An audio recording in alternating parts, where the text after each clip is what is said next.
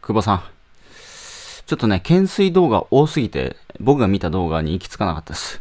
でもね、カスタムサムネイルがブルース・リーに憧れてみたいな。そう、ブルース・リーは出てきたんですけど、ブルース・リーに憧れてみたいな。まあ、30年ぐらいやったのかな。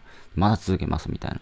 スクショだったんですけど、まあ、とりあえずね、逆三角形になってましたね。すごい、すごい鋼の肉体になってましたけど、まあだからまあ、やればできるわけですよ。で、まあ、その懸垂とかで調べると、その100日やってみたとかね、いっぱいあるんですけども、まあ変わってますからね。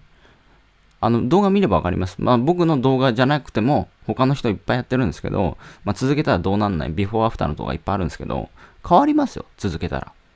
変わらないんですか？懸垂毎日やって変わらないですか？変わるんですよ。だから、やってないから変わらない だけであって、やれば変わるんですよ。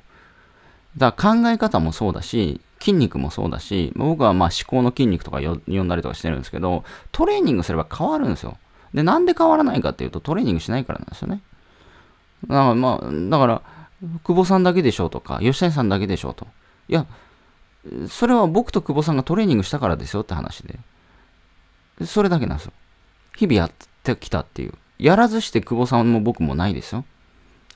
一つ事実が言うんだったら稼げてない人よりやったという事実しかないですね。でも稼げてない人は稼げてる人に稼げてる人よりやっていないという事実があるだけであってあなたは今日どういう事実を作ってるんですか？今日やったという事実を作りましたか？作ってないですか？じゃあ今日やったの中でもどれぐらいやったんですか？ということですよね。